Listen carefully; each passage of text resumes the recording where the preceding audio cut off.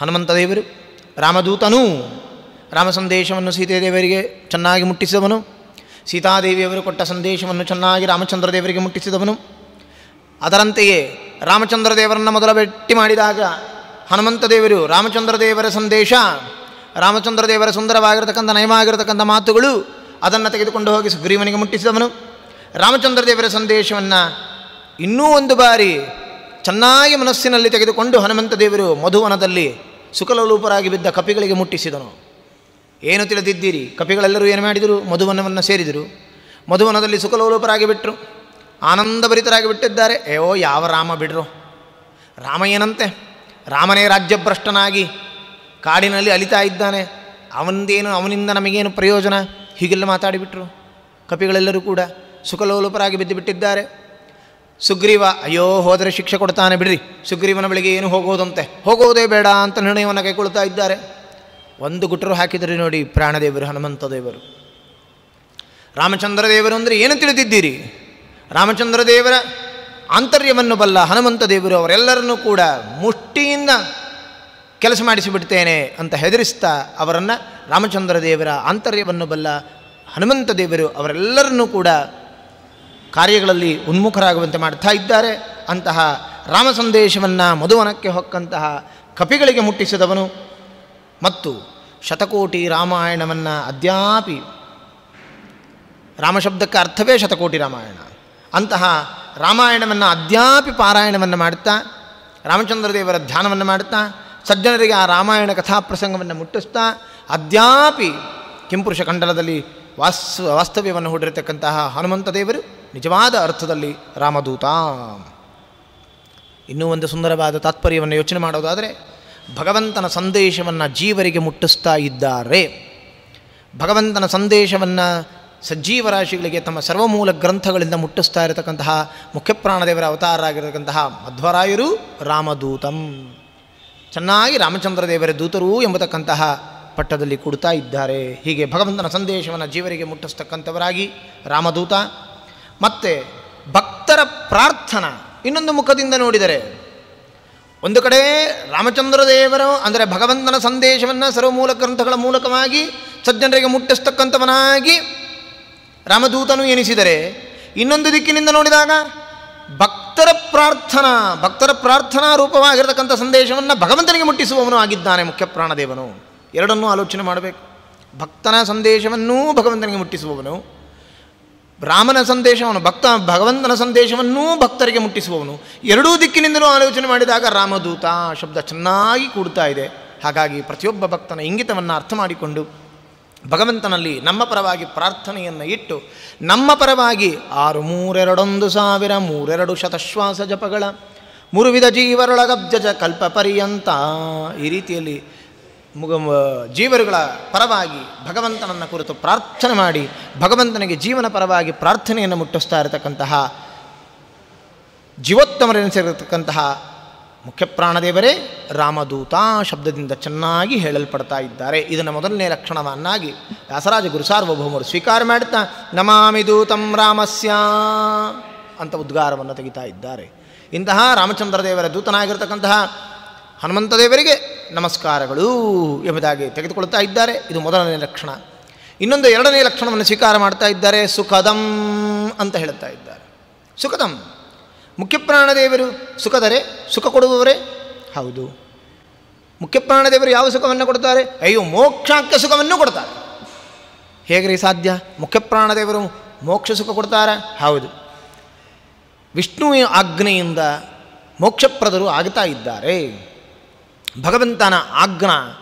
ಮೋಕ್ಷ ಕೊಡುವಂತೆ ಭಗವಂತ ಆದೇಶವನ್ನು ತಲುಪಿಸಿದರೆ ಮುಖ್ಯಪ್ರಾಣದೇವರು ಕೊಡಬಲ್ಲರು ಆಗ್ತಾರೆ. ಸ್ವತಂತ್ರವಾಗಿ ಕೊಡಬಲ್ಲರು ಅಲ್ಲ, ಆದರೆ ಭಗವಂತನ ಆದೇಶದ ಮೇರೆಗೆ ಮೋಕ್ಷ ಕೊಡುವತಕ್ಕಂತಹ ಸಾಮರ್ಥ್ಯ ಹನುಮಂತ ದೇವರಿಗೆ ಇದೇ ಮುಖ್ಯಪ್ರಾಣದೇವರಿಗೆ ಇದೆ. ಹಾಗಾಗಿ ರಾಮದೇವರ ಆಜ್ಞೆಯಿಂದ ಮೋಕ್ಷ ಸುಖವನ್ನು ಕೊಡತಕ್ಕಂತಹ ಸಾಮರ್ಥ್ಯವುಳ್ಳ ಮುಖ್ಯಪ್ರಾಣದೇವರನ್ನ ಸುಖದಂ ಅಂತ ಕರೆದುತ್ತಾ ಇದ್ದಾರೆ ವ್ಯಾಸರಾಜಗುರು ಸಾರ್ವಭೌಮರು. ಇನ್ನೂ ಒಂದು ಕಾರಣವನ್ನು ಚಿಂತನೆ ಮಾಡೋದಾದರೆ, ರಾಮಚಂದ್ರ ದೇವರ ಸಂದೇಶವನ್ನು ಸೀತಾ ಆಕೃತಿಗೆ ತಲುಪಿಸಿದ್ದಾರೆ. ಸೀತೆಗೆ ಅಲ್ಲ, ಸೀತಾದೇವಿ ಇಲ್ಲ. ಸೀತಾ ಆಕೃತಿ ಮಾತ್ರ ಅಶೋಕವನದಲ್ಲಿರತಕ್ಕಂಥದ್ದು ಅಂತಹ ಸೀತಾ ಆಕೃತಿಗೆ ರಾಮಚಂದ್ರ ದೇವರ ಸಂದೇಶವನ್ನು ಮುಟ್ಟಿಸಿ ಸುಖದಂ ಆಗಿದ್ದಾರೆ. ಸುಖದ ಯಾವುದಕ್ಕೆ? ಆ ಸೀತಾಕೃತಿ ಅದಕ್ಕೆ ಸುಖವನ್ನು, ಸಂತೋಷವನ್ನು ತಂದುಕೊಟ್ಟಿದ್ದಾರೆ. ಸುಖದಂ ಶಬ್ದ. ಅಥವಾ ಇನ್ನೂ ಒಂದು ರೀತಿಯಲ್ಲಿ ಆಲೋಚನೆ ಮಾಡೋದಾದರೆ ರಾಮಚಂದ್ರ ದೇವರ ಸಂದೇಶವನ್ನು ಸುಗ್ರೀವನಿಗೆ ತಲುಪಿಸಿ ಸುಖದಂ ಆಗಿದ್ದಾರೆ. ಸುಗ್ರೀವನೂ ಕೂಡ ರಾಮಚಂದ್ರ ದೇವರ ಸಂದ, ಸಂದೇಶವನ್ನು ಕೇಳಿದವನಾಗಿ ಎಚ್ಚರಿಕೆಯನ್ನು ಕೊಡ್ತಾ ಇದ್ದಾರೆ. ಸುಗ್ರೀವ, ಸುಖದಲ್ಲಿ ಮೈ ಮರೆತು ಬಿಟ್ಟಿದ್ದೀಯೋ ಎಚ್ಚರಗೊಳ್ಳು. ಪ್ರಭು ರಾಮಚಂದ್ರ ದೇವರ ಸೇವೆಗೆ ಎಚ್ಚರನಾಗು. ಹೊರಡು. ಅದನ್ನು ಹೇಳಿ ರಾಮಚಂದ್ರ ದೇವರ ಸ್ಮರಣೆಯನ್ನು ತಂದುಕೊಟ್ಟು, ರಾಮಚಂದ್ರ ದೇವರ ಸ್ಮರಣೆ ಎಂಬತಕ್ಕಂತಹ ಸುಖವನ್ನೂ ತಂದುಕೊಟ್ಟು ಸುಗ್ರೀವನನ್ನು ಉದ್ಧಾರ ಮಾಡಿದ್ದಾರೆ. ಸುಖದಂ. ಎಷ್ಟು ಕಾರಣಗಳನ್ನು ವ್ಯಾಸರಾಜ ಗುರು ಸಾರ್ವಭೌಮರು ಆಲೋಚನೆ ಮಾಡಿಬಿಟ್ಟಿದ್ದಾರೆ ಎಷ್ಟು ಅಭಿಪ್ರಾಯಗಳಿದ್ದಾವೆ ನಮಾಮಿ ದೂತಂ ರಾಮಸ್ಯ ಸುಖದಂ ಅನ್ನಬೇಕಾದರೆ ಎಷ್ಟು ತಾತ್ಪರ್ಯಗಳನ್ನು ಹೇಳುತ್ತಿದ್ದಾರೆ ಅಥವಾ ಭಕ್ತರಿಗೆ ಜ್ಞಾನವನ್ನು ಕೊಡ್ತಾ ಇದ್ದಾರೆ, ಭಕ್ತರಿಗೆ ಜ್ಞಾನವನ್ನು ಕೊಟ್ಟು ಜ್ಞಾನದ ಮೂಲಕವಾಗಿ ಸುಖವನ್ನು ಕೊಡುವವರು ಆಗಿ ಸುಖದಂ ಆಗ್ತಾ ಇದ್ದಾರೆ. ಭಕ್ತರಿಗೆ ಜ್ಞಾನವನ್ನು ಕೊಡ್ತಕ್ಕಂಥವರಾಗ್ತಾ ಇದ್ದಾರೆ. ಯಾಕೆ? ಜ್ಞಾನದಿಂದ ಸುಖ ಉಂಟು. ಹೌದಾ? ಎಷ್ಟೇ ಪದಾರ್ಥಗಳಿದ್ದರೂ ಜ್ಞಾನವಿಲ್ಲದಿದ್ದರೆ ಸುಖ ಇಲ್ಲಿ ಒಳ್ಳೆ ಮೊಬೈಲ್ ಇದೆ ನಮ್ಮ ಕೈಯಲ್ಲಿ. ಅದ್ಭುತವಾದ ಮೊಬೈಲ್ ಸೆಟ್ ನಮ್ಮ ಹತ್ರ ಇದೆಪ್ಪ ಅದರಲ್ಲಿಲ್ಲದೆ ಇರೋ ಪ್ರೋಗ್ರಾಮ್ಸೇ ಇಲ್ಲ. ಎಲ್ಲ ಪ್ರೋಗ್ರಾಮಿಂಗೂ ಅದರಲ್ಲಿ ಮಾಡಿದ್ದಾರೆ. ಆದರೆ ಅದನ್ನು ಆಪ್ರೇಟೇ ಮಾಡಲಿಕ್ಕೆ ಬರಲಿಲ್ಲ ಅಂದರೆ? ಅದನ್ನು ಆಪ್ರೇಟೇ ಮಾಡಲಿಕ್ಕೆ ಬಂದಿದ್ದಿಲ್ಲ ಅದರಲ್ಲಿರ್ತಕ್ಕಂತಹ ಆ ಪ್ರೋಗ್ರಾಮಿಂಗ್ ಅದನ್ನು ನಮಗೆ ನಡೆಸಲಿಕ್ಕೆ ಬರಲಿಲ್ಲ. ಅದನ್ನ ಏನು ಮಾಡಬೇಕ್ರಿ ಜ್ಞಾನ ಇಲ್ಲ ಅಂತಂದ್ರೆ ಸುಖ ಇಲ್ಲ ಅಂದರ್ಥ. ಎಷ್ಟೇ ದ್ರವ್ಯ ಪದಾರ್ಥಗಳು, ಎಷ್ಟೇ ಸುಖ ಕೊಡ್ತಕ್ಕಂಥ ಪದಾರ್ಥಗಳು ಸುತ್ತಮುತ್ತ ಇದ್ದರೂ ಅವುಗಳ ಜ್ಞಾನ ಇಲ್ಲದೆ ಹೋದರೆ ಅದರಿಂದ ಸುಖ ಉತ್ಪತ್ತಿ ಆಗೋಲ್ಲ. ಹಾಗಾಗಿ ಸುಖಕ್ಕೆ ಮೂಲ ಕಾರಣವಾದ ವಸ್ತು ಜ್ಞಾನ. ಜ್ಞಾನವೇ ಇಲ್ಲದೆ ಸುಖದ ಪ್ರಯೋಜನ ಇಲ್ಲ. ಒಳ್ಳೆ ಕಾರ್ ತೆಗೆದುಕೊಂಡಿದ್ದೀವಿ ಡ್ರೈವ್ ಮಾಡಲಿಕ್ಕೆ ಬರಲುವುದಿಲ್ಲ ಬಂದದ್ದೇನು ಪ್ರಯೋಜನ? ಹಾಗಾಗಿ ಸುಖಕ್ಕೆ ಕಾರಣವಾದದ್ದು ಏನು? ಜ್ಞಾನ. ಆ ಜ್ಞಾನವನ್ನು ಕೊಡತಕ್ಕಂಥವರಾಗಿದ್ದಾರೆ ಮುಖ್ಯ ಪ್ರಾಣದೇವರು. ಹಾಗಾಗಿ ಜ್ಞಾನವಿತ್ತು ಸುಖವನ್ನು ಕೊಡತಕ್ಕಂಥವರು. ಜ್ಞಾನವಿತ್ತು ಸುಖವನ್ನು ಕೊಡತಕ್ಕಂಥವರು ಅಂತಂದರೆ ಜ್ಞಾನದಿಂದಲೇ ಮೋಕ್ಷ. ಅಪರೋಕ್ಷ ಜ್ಞಾನಾದಿಗಳನ್ನು ಸಂಪಾದನೆ ಮಾಡಿದ ನಂತರದಲ್ಲಿಯೇ ಮೋಕ್ಷ. ಹಾಗಾಗಿ ಮೋಕ್ಷ ಸುಖ ಬೇಕಾ? ಜ್ಞಾನ ಬೇಕು. ಆ ಜ್ಞಾನವನ್ನು ಕೊಡ್ತಕ್ಕಂಥವ್ರು ಯಾರಾಗ್ತಾ ಇದ್ದಾರೆ? ಮುಖ್ಯ ಪ್ರಾಣದೇವರು. ಹಾಗಾಗಿ ಸುಖದಂ ಅಂತ ಕರೀತಾ ಇದ್ದಾರೆ ವ್ಯಾಸರಾಜಗುರು ಸಾರ್ವಭೌಮರು. ಅಥವಾ ಸೀತಾದೇವಿಯವರಿಂದ ತರಲ್ಪಟ್ಟ ಸಂದೇಶ. ಅದನ್ನು ರಾಮಚಂದ್ರ ದೇವರಿಗೆ ಮುಟ್ಟಿಸ್ತಾ ಇದ್ದಾರೆ. ಅಲ್ಲಿ ಸುಖಪೂರ್ಣನಾಗಿರತಕ್ಕಂಥ ಭಗವಂತ, ನಿತ್ಯ ಸುಖ ಅಭಿವ್ಯಕ್ತಿ. ಭಗವಂತನಲ್ಲಿ ಸದಾ ಸುಖದ ಅಭಿವ್ಯಕ್ತಿ ಎಂಬುದು ಇದ್ದೇ ಇದೆ. ಆದರೂ ಸೀತಾ ಸಂದೇಶವನ್ನು ತಂದು ಅದು ಮತ್ತೊಂದು ಅಭಿವ್ಯಕ್ತಿಯನ್ನು ಹೊಂದುವಂತೆ ಅದನ್ನು ನೋಡಿ ಹರ್ಷಿಸಿದವರು ಯಾರು? ಮುಖ್ಯಪ್ರಾಣದೇವರು ಹಾಗಾಗಿ ಸುಖದಂ ಅಂದಿದ್ದಾರೆ. ಎಷ್ಟು ಥರ ಅರ್ಥ ಹೇಳ್ಬೋದು. ಸುಖದಂ ಅಥವಾ ಸುಖದಂ ಸು ಅತ್ಯಂತ ಪವಿತ್ರತಮವಾದ ಖ ಇಂದ್ರಿಯಗಳನ್ನು ಅಥವಾ ಮನಸ್ಸುಗಳನ್ನು ದ ನೀಡುವವನು. ಸುಖದಂ ಶಬ್ದಕ್ಕೆ ಅರ್ಥ. ಸುಖದಂ ಅಂತಂದ್ರೇನು?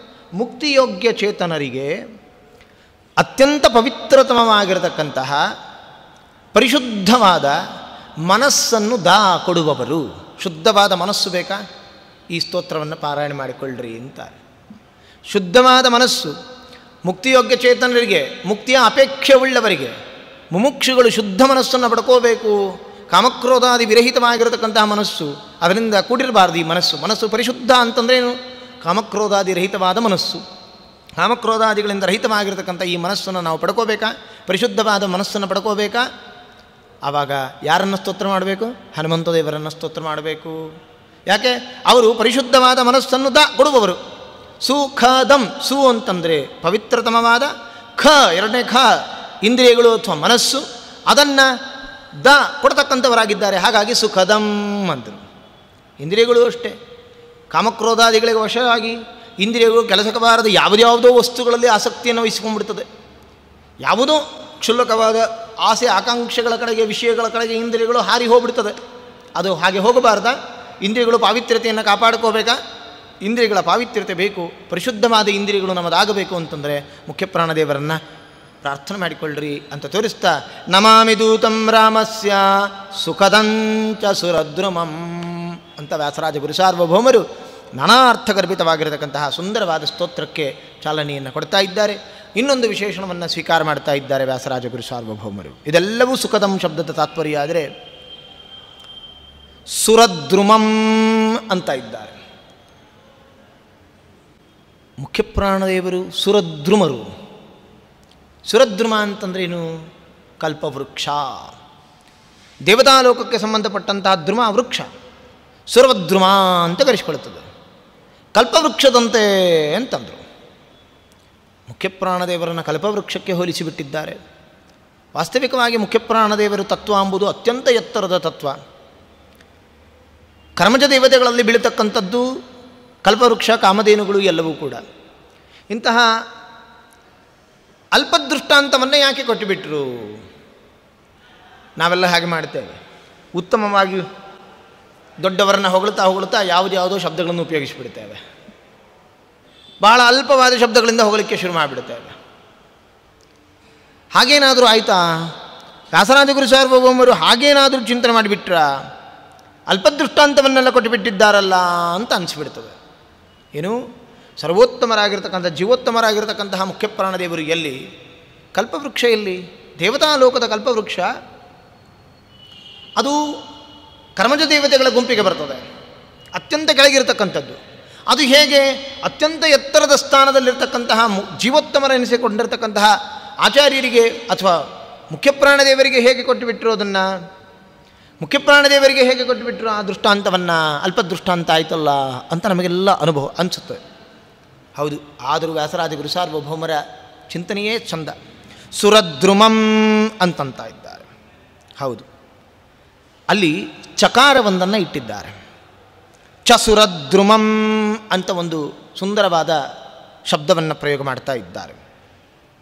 ಸುರದ್ರುಮ ಎಂಬತಕ್ಕಂಥದ್ದು ಅಲ್ಪದೃಷ್ಟಾಂತ ಆದರೂ ಅಲ್ಪವೃಕ್ಷ, ಕಲ್ಪವೃಕ್ಷಕ್ಕಿಂತ ಅದು ಅನಂತಪಟ್ಟು ಗುಣ ನೀಚತ್ವವನ್ನು ಹೊಂದಿದ್ದರೂ ಮುಖ್ಯಪ್ರಾಣದೇವರಲ್ಲಿ ಉಚ್ಚತ್ವವನ್ನು ಹೇಳಲಿಕ್ಕೋಸ್ಕರವಾಗಿ ಚಕಾರವನ್ನು ಸೇರಿಸಿಬಿಟ್ಟಿದ್ದಾರೆ. ಅಂದರೆ ಏನಾಯಿತು? ವ್ಯಾಸರಾಜ ಗುರುಸಾರ್ವಭೌಮರ ಪ್ರಯೋಗದಲ್ಲಿ ಒಂದು ವೈಶಿಷ್ಟ್ಯವನ್ನು ನೋಡ್ತಾ ಇದ್ದೇವೆ ನಾವು. ನಮಾಮಿ ದೂತಂ ರಾಮಸ್ಯ ಸುಖದಂಚ ಸುರದ್ರುಮಂ ಅನ್ನಬೇಕಾದರೆ ಚ ಅನ್ನೋ ಅಕ್ಷರಕ್ಕೂ ಅರ್ಥ ಇದೆ. ನಮಗೆ ಶ್ಲೋಕ ಪೂರ್ಣ ಆಗಲಿಕ್ಕೆ ಬರಲಿಲ್ಲ ಅಂದರೆ ಚಕಾರವನ್ನು ತುಕಾರವನ್ನು ಯಾವುದನ್ನು ಸೇರಿಸ್ಕೊಂಡ್ಬಿಡ್ತೇವೆ. ಹಾಗೆಲ್ಲ ಏನಿಲ್ಲ.